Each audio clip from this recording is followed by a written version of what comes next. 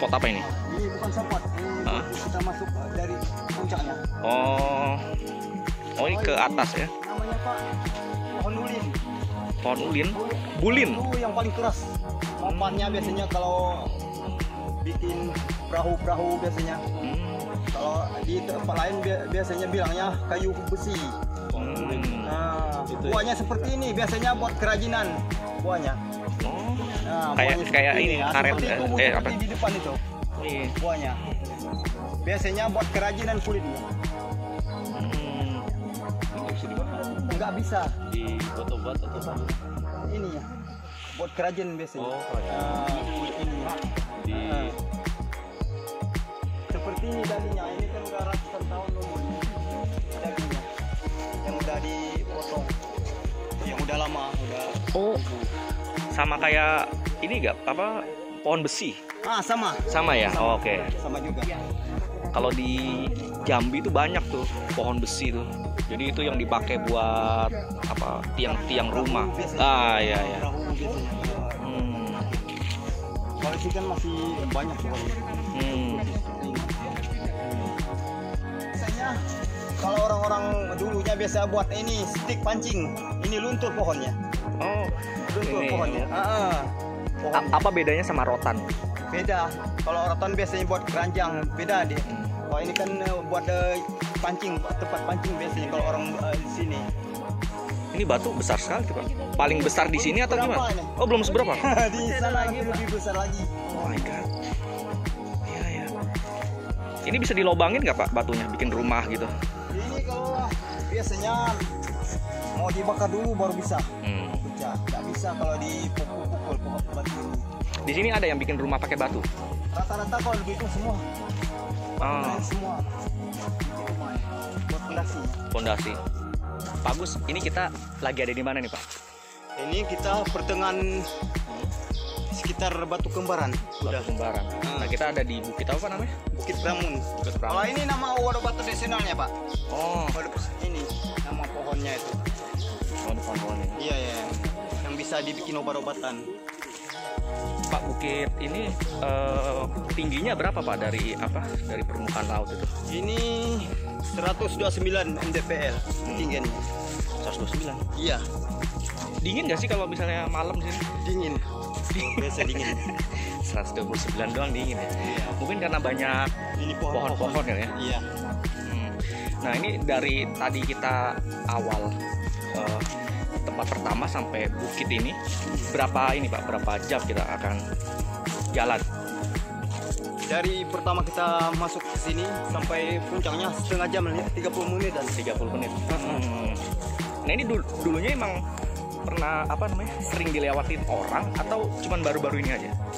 sebenarnya ini udah lama dari orang tua sampai kita sekarang mulai di ini kan hutan ini Hmm. sambil ambil obat-obatan kan biasanya orang-orang di sini Dari kapan itu pak? Tahu Udah- ribuan tahun lalu atau? udah udah berapa tahun yang lalu puluhan tahun yang lalu itu. Hmm. Nah bapak eh, asli sini? iya Hmm. Nah dulunya eh, bapak waktu kecil apakah suka main ke sini eh, mencari obat-obatan atau kayu seperti itu? Kalau saya biasanya main-main ke sini masih kecilnya Hmm. Hmm, sama-sama teman-teman Oh iya. Heeh. Apa pak yang yang yang dicari apa di sini? Biasanya? cuman naik bukit, bukit Naik- naik aja dulu. Heeh, cuman main aja di atasnya Hmm. Masih sama kayak dulu gak pak ini? apanya Eh, sama konturnya. Ah, sama. Masih sama ya? Nah, sama. Cuman beda jalur kita. Ini kan udah tidak begitu terjal. Kalau di sana kan lewat lurus agak terjal lagi. Hmm. Kayaknya udah terjal banget nih ngos-ngosan. nah dulu ini kan kalau naik gunung eh, naik kayak gini kan apa dulu masih apa hutan rimbun atau bagaimana? Udah rimbun seperti ini. Hmm. Dari udah ratusan tahun lalu udah seperti ini. Hmm. Ini kan kita sekalian jaga hutan ini. Jangan sampai dirusak eh, yang orang-orang nggak dikenalkan. Da- dari kapan bapak eh, mulai jaga hutan ini? Kalau saya sih dari mulai ini mengikuti komunitas ini Ya, ya. udah udah jaga. Waktu dulu itu Waktu dulu kan cuma main-main aja. main-main.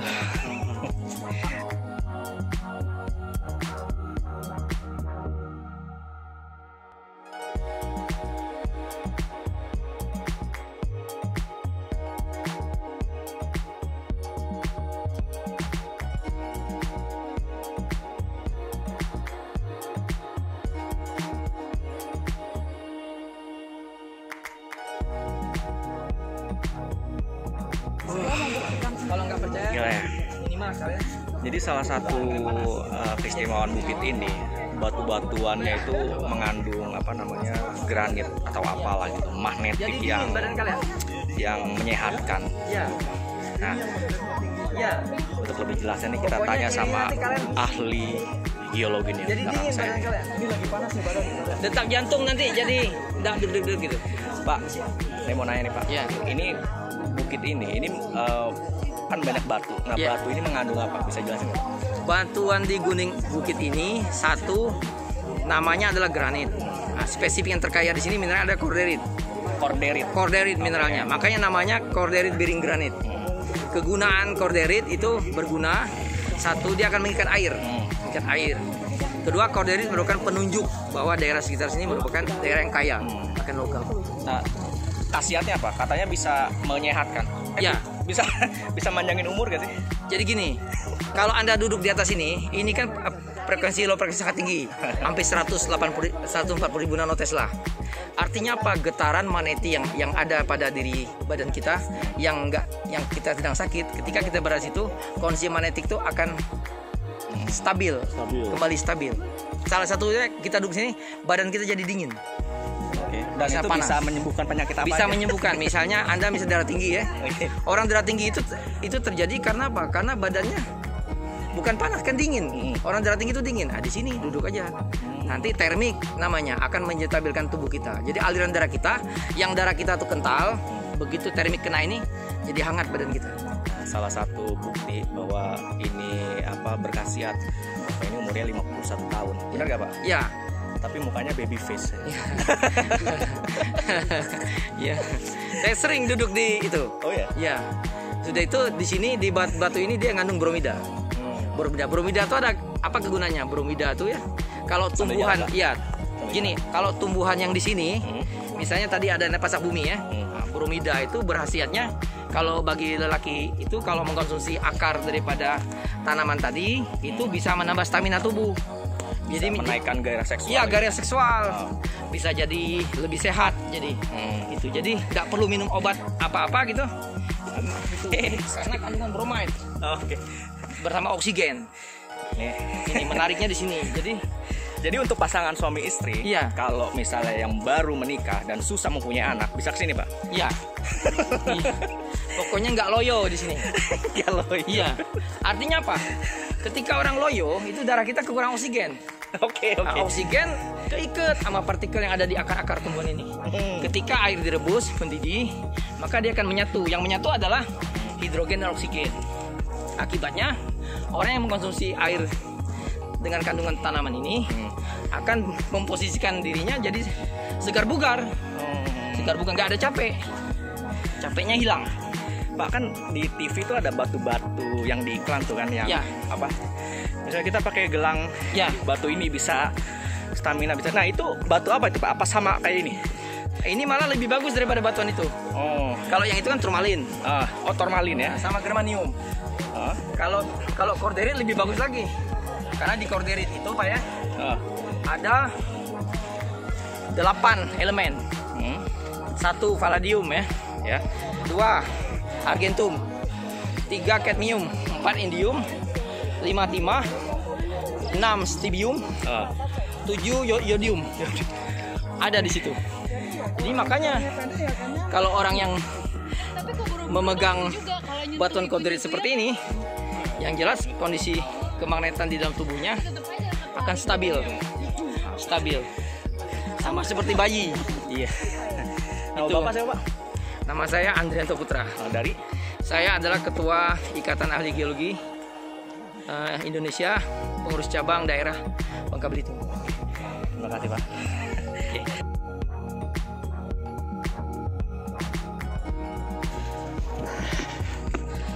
Oke. Kita sampai di Bukit Pramuna ini puncaknya. Ini dia puncaknya, Bukit Pramun. Dan di Bukit Pramun ini ada batu kembar. Oke. Itu siapa? Wah. Jadi ini kalau kita ke sini ke batu kembar di Bukit Pramun ini, kita akan enteng jodoh nih. Ah, ini dia batu kembar ini. Kita akan enteng jodoh.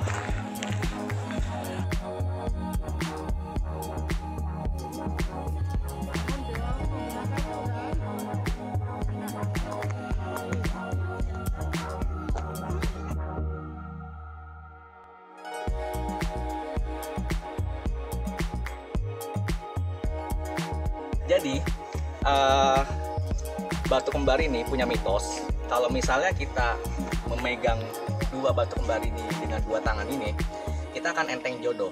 Kalau belum punya jodoh. Tapi kalau yang udah punya istri, ini bisa dapat dua. Oh enggak, maksudnya bisa langgeng jodohnya. Mau Dua. coba? Datang ke sini ya, Datang ke mana? ke Bukit Pen- Pramun. Peramu di Pramun. Pramun. Oh, Pramun di Bukit Pramun di Belitung. Habis dia ingetnya yang dua terus sih.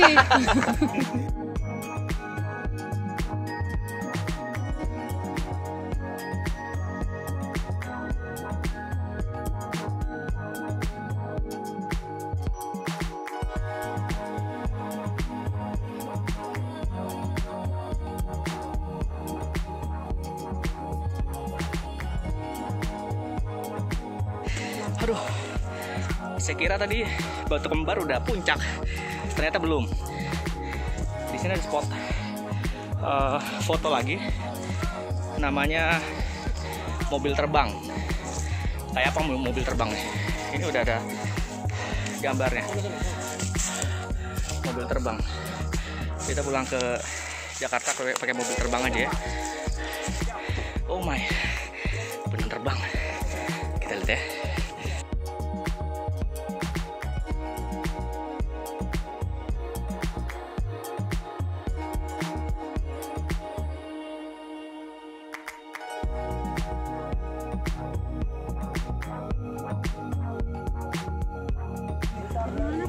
Dari mana? Dari mana? Lewat sini pak. Bawa mobil. Itu. Iya. Oke. Pasti syarat pertama tuh yang terjaga. Iya di gapung. Utang orang. Eh, Warung per orang. Kosong. Enggak ada. Cuman eh, kayak tali sama ini roda depannya dilepas, yang belakangnya enggak dilepas. Cuman kaca sama ini pintunya dilepas. Iya. Kita bawa semua. Dua tahun. Oh ini mobil ya ada keropos. Kalau yang lain ini kayu besi yang bilang saya bilang tadi bawa tuh kayu bulin, bulin kayu besi. Ya, kayu besi. Kalau orang Belitung kan kalau bulin kan, kalau ini ulin. Ini mobil siapa? Hah, kita beli mobil. Oh, beli. Bukan punya Bukan. Bukan. Kita beli mobil. Tapi belinya mau mesinnya udah rusak ya. Udah rusak. Nah, udah rusak. Saya kira eh, batu kembar itu masih apa? Udah terakhir ya, di puncaknya Bukit Ramu. Tapi masih ada mobil terbang. Nah, saya mau coba nih pulang ke Jakarta pakai mobil ini. Ayo kita naik ya. Geser, kita coba ya. Bautnya satu tuh. Injak aja nggak apa-apa injak. Iya, iya. Ya. Mobil terbang ini bukan. ceritanya tuh diangkat dari bawah tadi dari bawah terus digantungin di sini nih katanya muat sampai empat orang tapi dalam uji coba ini ada sembilan orang yang eh, naik ini ya kalaupun baut bautnya copot satu ya aku hilang satu lah nggak apa-apa ya. Jadi jangan lupa kalau ke Belitung ke Bukit Pramu dan naik mobil ini. Yang di sebelahnya ngapain?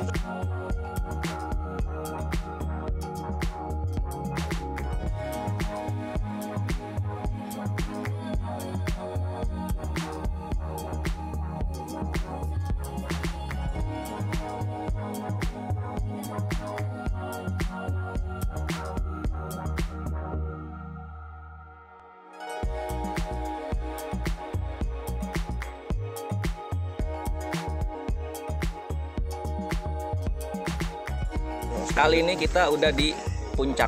Enggak sih tapi puncaknya di atas. Tapi ini kayaknya udah puncaknya dan ini salah satu uh, puncak spot foto paling apa paling baru lah. Dan nggak belum banyak orang datang ke sini. Ini namanya Ah, Bukit Pramun Belitung nah ini ini udah udah apa udah eh, puncaknya di sini dan kita dipaksa untuk oh dipaksa enggak ya? Ini ada bacaan keren abis keren nggak keren banget. Gila ini kalau misalnya eh, siang itu pasti ini eh, keren. Dan sayangnya ini udah sore. Ya siang pasti panas. nah, late tapi mantap. Berarti apa? Apa ya? late itu apa? Late. orang telat tapi mantap. Telat tapi mantap. Lete. lu telat tapi mantap Lete ternyata apa? Lete tapi mantap. oke dan ini yang paling apa ini sih? kayaknya sampai sini aja perjalanan kita di eh, apa di Bukit. Peramun di Bukit Peramun. Eh, jangan lupa ke sini di eh, apa di Belitung. Nggak terlalu jauh dari Jakarta, nggak terlalu jauh dari Pulau Jawa, dan ini menawarkan sensasi pemandangan alam yang beda. Oke, dari Bukit dari Bukit Pramun, saya Febrian Syarifana untuk suara.com.